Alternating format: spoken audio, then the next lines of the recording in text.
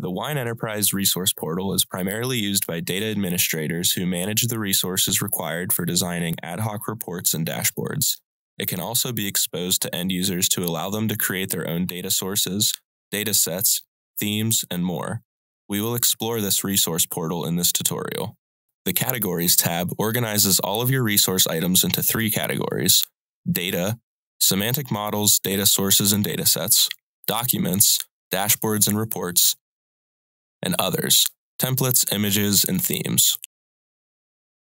In the Create tab, you can easily create all of these resources.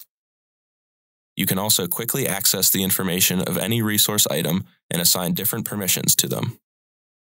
Using the context menu, you can perform other actions such as editing, renaming, deleting, or downloading any resource item.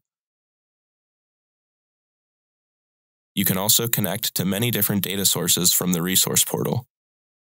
You will notice in the Create Data Source pane that we have a vast list of native connections to all sorts of data sources, regardless of whether they are local files or databases available on different servers.